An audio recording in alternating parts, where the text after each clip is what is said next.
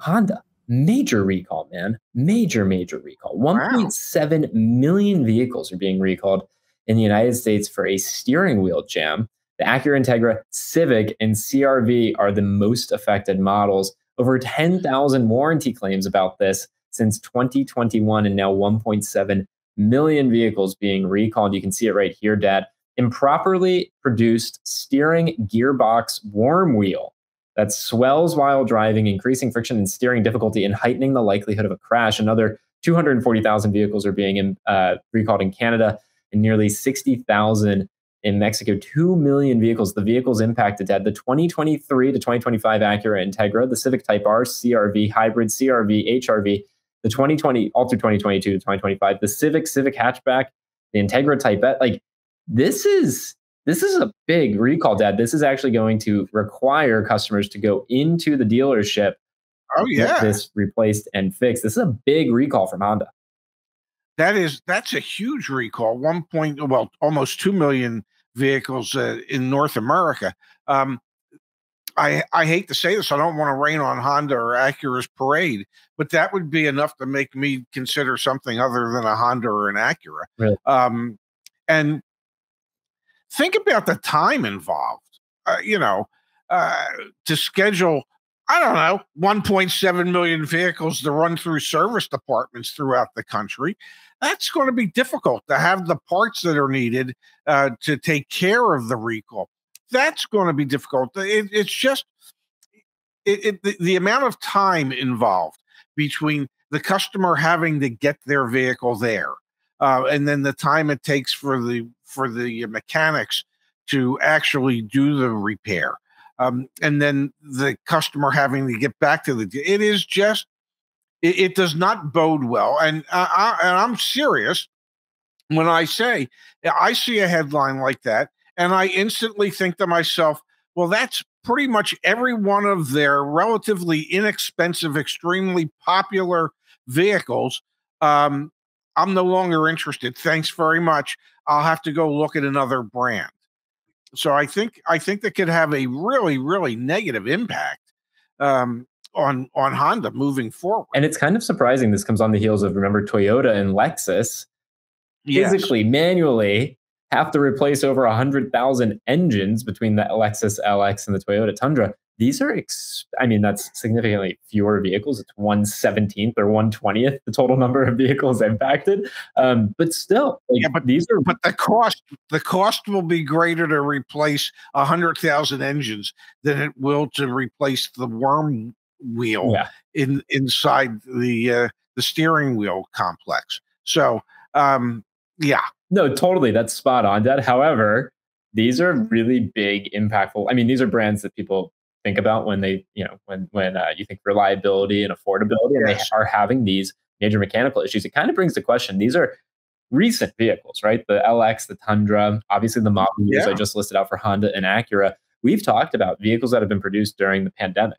You know, we're kind of on the other side of that now, but there is in general, I don't want to say a lack of quality, but I think there's a there's a lot of recalls going on right now. Some some companies trying to compete with Ford for the number one spot on the NHTSA recall list. I think you can say in general yeah. that overall, um, quality issues for most brands have reared their ugly head much more frequently recently than perhaps in the past.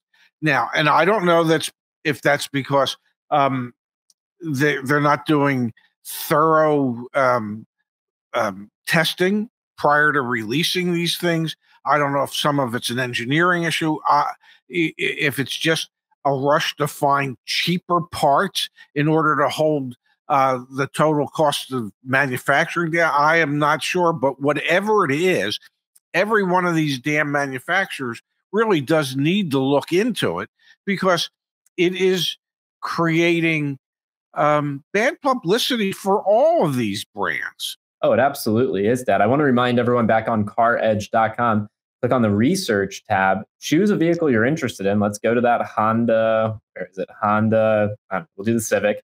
When you search for a vehicle through the CarEdge Research Hub, you're going to land on a page that gives you all the information you need to know about what it's going to cost to own that vehicle. You can click on cost to own. You can see pricing information. for all the various trim levels, other deals that CarEdge community members and our concierge team have gotten for that particular vehicle, lease specials, specs, warranty. And then the reason I came here, Des, is because on cost of ownership, you can go to things like maintenance and you can see what the expected likelihood of a major repair is during your mm. time of owning that vehicle. And Honda, Toyota, et cetera, those brands have typically done really, really well. But we update this data pretty frequently. And so I'll be curious to see if the cost of ownership continues to go up as these vehicles become obviously more technologically complex. We talked about that yesterday with the fact that Mercedes Benz is trying to build a video game hub in your car. And obviously, that's going to make owning the car more expensive as components fail. But also, as maybe we realize more and more, I don't know, like you know, MBA people running these companies saying, okay, we have to get costs down, costs down, costs down no wonder we see the recalls. No wonder we see maybe the quality of the products uh, worsening, and then ultimately cost of ownership going up. So, quick plug for what we have, but also maybe maybe the numbers are going to get worse. Customer sues Illinois' Napleton store, alleges unauthorized credit check. Arlington Heights CDJR Chrysler Dodge Jeep and Ram shoppers lawsuit seeks class action status for other consumers who allegedly also saw unwanted hard credit pulls by the Napleton Group.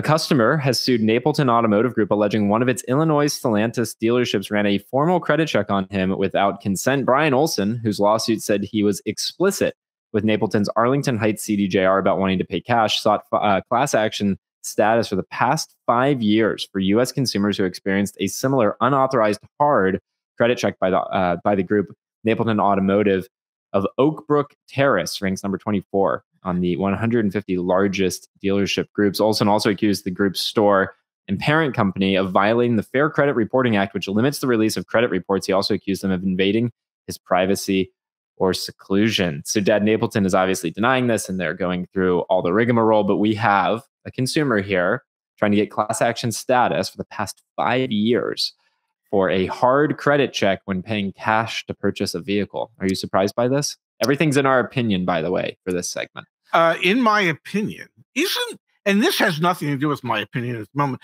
but isn't Napleton the same group that I believe two years ago was fined ten million dollars yeah. for for uh, violations, consumer fraud violations, other consumer violations, um, uh, charging uh, unusual fees. Uh, just they, of course, they stroked the check. They did not admit any guilt.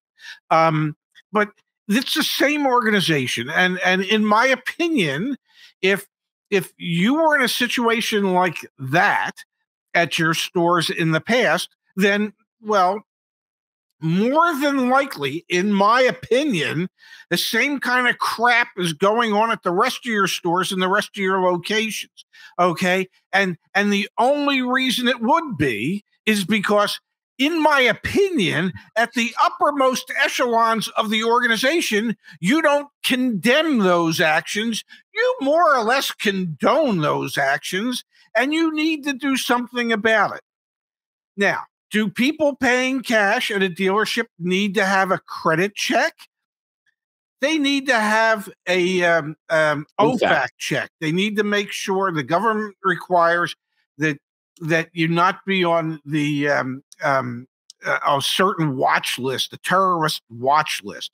Okay, but that doesn't require a complete credit application or a credit report. It's a separate report altogether. If you want to write a check and take the vehicle home with you that day, many dealerships would require a credit application and to run your credit application to make sure, I don't know, you're who you purport to be, and you would actually have the ability to stroke that check. Okay.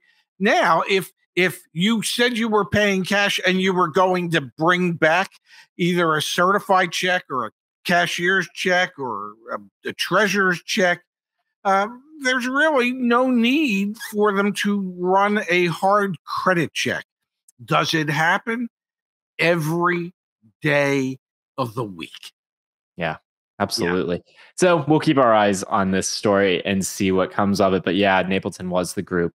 They paid about $9.6 million back to 66,000 prior customers for junk fees. So, you know, we haven't heard a lot of stories quite like that. So definitely, definitely a little bit of a history there. Yeah. how Mercedes and other automakers aim to make cars mobile entertainment hubs, BMW and Volkswagen are working with AirConsole to provide video game apps for in car entertainment. I'm going to give you the floor, Dad. don't give me the floor. It's it's uh, you can give me the finger, but don't give me the floor. Um, it, it, this is like this is this is like the stupidest stuff in the history of humanity. I mean, do do do we really? Does anybody really need to have the ability to be able to play games, video games, on the dashboard of their car. Now, I realize, I realize that, well, the driver won't be able to play because, well, that would just be, well, I don't know, too distracting. But the fact that the driver might be able to see the game that the person in the passenger seat is playing, oh, that couldn't be distracting at all. Okay. Uh, there is there is no human need to be able to play video games in an automobile based on the dashboard. Uh, you know, just driving a car is entertainment enough. Just watching other people drive, just watching people drive and text is entertainment enough. Do you really need to watch them drive, text, and I don't know, play on their console at the same time? We're driving cars here, okay? Highly uh, heavy moving highly, highly heavy yeah, yeah they're heavy they're heavy and they're moving and it's equipment and they and you have accidents and people get hurt and killed. You don't need distractions like this. Concentrate on driving the damn car. It, it's there are better ways to spend money for these manufacturers. Don't turn a car into an entertainment hub. It's a car, damn it. Do you think, Dad, what is your professional opinion on the impact these types of investments in cars will have on insurance and cost of ownership? What do you think? Well, I, I, I don't. I it's, it, it's got to impact cost of ownership because this stuff ain't free. Okay, so they're going to raise the prices of the cars because they've included this nonsense in them. Insurance companies are going to go, well, this is going to distract drivers just a tad bit more. So your insurance rates, which have jumped 20 to 25% in the last couple of years, are going to go up even more. Um, human beings shouldn't need this much entertainment. Okay, I'm just saying you know, find something else. I mean, if you just, this is going to sound terrible. Read a book, okay? Not the driver, but the passenger. Let the passenger read a book. Let them. They don't need to be playing games, video games on your dashboard. It, it, it's just we have, as a society, we have and I'm not just talking here in the United States because that was Mercedes and BMW, and so apparently it's it's big in Germany. Uh, we as society have lost our way completely when we think we oh I can't have a car without that. That yeah, you can. Just use the damn car for transportation from point A to point B and concentrate on driving the damn thing.